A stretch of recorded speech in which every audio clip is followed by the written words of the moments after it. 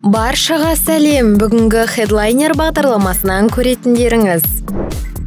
Блогер габа шахиге тұрмысқа шығуын өтініп ұсыныс жасады. Уәлибек әбдірайымов нұрлан қоянбаевқа неге өкпелі? 91 иглздерін жаңа туындымен қуантты. Танымал инстаграм жұлдызы габа сүйіктісіне ұсыныс жасады.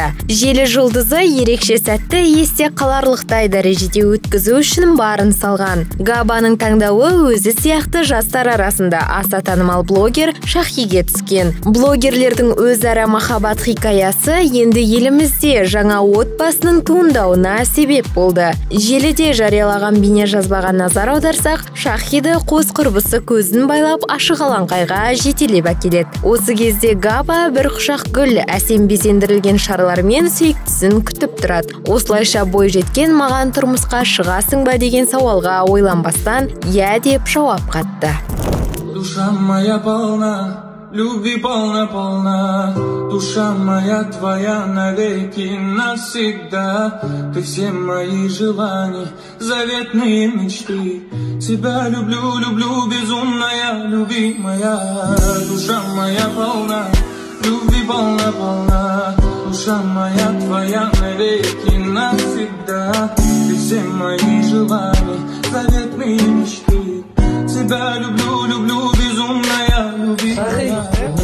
көремін менімен өміріңнің соңына дейін бірге болуға дайынсың ба? Маған тұрмысқа шығасың ба уәлибек әбдірайымов пен нұрлан қоянбаевтың арасындағы дау әлі де аяқталар емес. Бұған дейінгі сұхбаттарының бірінде әбдірайымов қоянбаев түсірген туындыларында қазақтарды төмен деңгейлі етіп көрсеткен деп сынаған болатын. Мұны естіген қоянбаев та қарап қалмай мықты болсаңыз халықтың ақшасына түсірілген киноларды сынамайсыз ба? деген еді. Жуырда ғаламтордағы бағдарламалардың бірінде қонақта болған әбдірайымов нұрланмен әрі қарай сөз таластырып таптырмайтынын алға тарта отырып өнердегі інісіне өкпесін жеткізгендей болды. Баяғыда ауылда бір ақсақал ана бала менімен амандаспады деп ренжісе артынан барып кешірім сұрайтын еді. Қазіргі жастар сыйламақ түгілі амандаспайды да деп қынжылыс білдірді.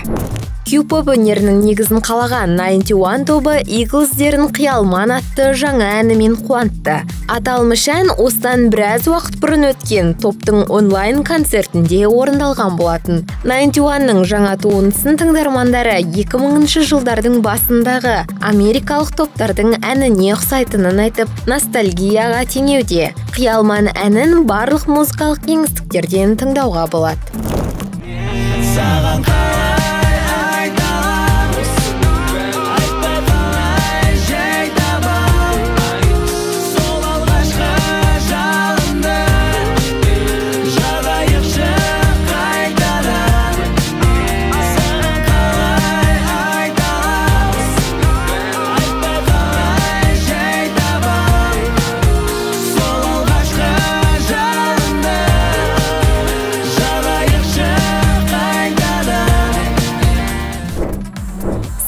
Лақап танымал мөлдір есенбек өз туған күнінде өзгелерге тосынсый жасады. 23 жасқа толған өнерпаз бөзде атты жаңа ән шығарып оның ертесі аталмыш туындыға түсірген бейнебаянын жариялады. Ән баянда смо туған күнін атап өткен сәтін көрсетеді. Иә бірінші ақпаннан бері халықты жаппай егу жұмыстары басталды. Статистикаға сүйенсек бүгінгі күнге дейін коронавирусқа қарсы екпені елімізде 174 мың халық салдырып үлгерген. Бұл көрсеткіштің арасында отандық өнер иелері де бар. Ендеше солардың бір қатарына кезек береміз. Кино және театр актрисасы айсұлу әзімбаева коронавирусқа қарсы екпені наурыз айының басында салдырыпты. Бұған жауапкершілікпен қарайтынын жазған өнер иесі инстаграм стористе вакцинадан кейінгі жағдайы туралы жиі бөлісіп тұрды. Вакцинациялауды маңызды қадам деп білемін. Оны әркім тек өзім үшін деп емес қоғамның бір бөлшегі ретінде жасауымыз керек. Былайынша ортақ саулығымызға қосқан үлесіміз. Енді мені вирус тасымалдау тараушысы емеспін. Сондай ақ оны ешкімге жұқтырмаймын. Әрине бұл тірліктің жартысы ғана десе де жарадым. Сіз де өзіңізді қорғаңыз деп жазды актриса инстаграмда. Әзімбаева күзге таман әлем елдеріне емін еркін ұшуға мүмкіндік туарынан үмітті екенін де жасырмады. Белгілі актер әнуар нұрпейісов те вакцина салдырып инстаграм парақшасында көпті мазалаған маңызды сұрақтарға жауап берді. Екпені өзім және айналамдағы жандар үшін салдырдым. Бұл менің саналы шешімім деген актер коронавирус барына сенбейтін азаматтарға қатысты да өз пікірін білдірді. Коронавирус барына сенбейтін таныстарым бар. Олар үшін мен ұяламын деген өнер иесі. Достар вирус жұқтырып оны көтере алмайтын жандарға қауіп төндіресіздер. Осының бәрі сіздің ар ұжданыңызға байланысты дейді. Әнуар нұрпейісов өз денсаулығы үшін алаңдамайтынын ал екпені жасы келген әжесіне қауіп төндірмес үшін салдырғанын айтты. Сені ұнатамын мен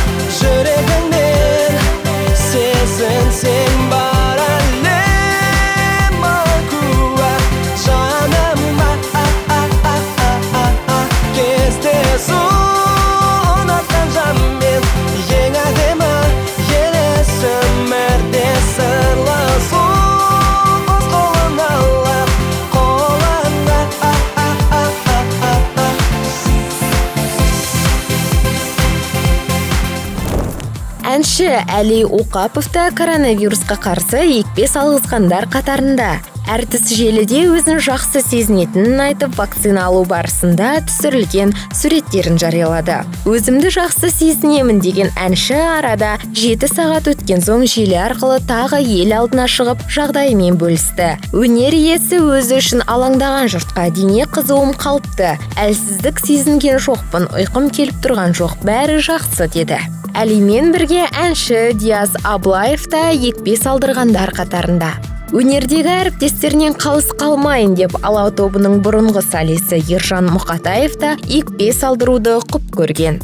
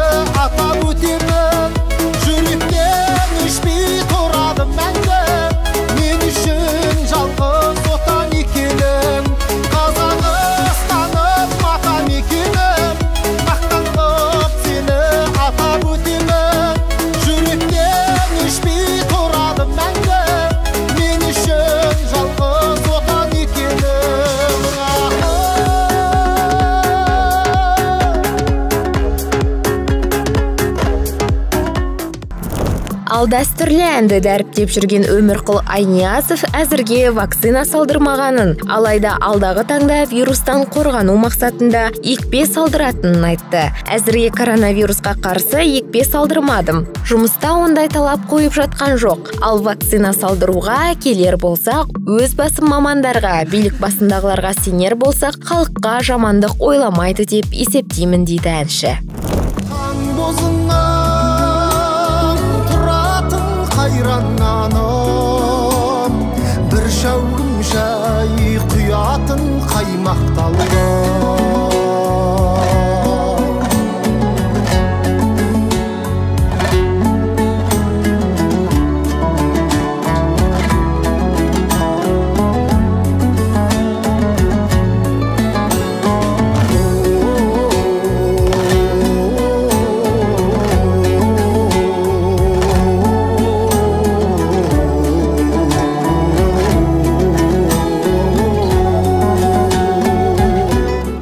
Әзірге осы бағдарламаның қызықты сюжеттерін ютубтан көре аласыз. Сондай ақ инстаграмдағы айқұлақ хит тв парақшасына да жазылуды ұмытпаңыз. Аружан дінслямова хедлайнер үшін.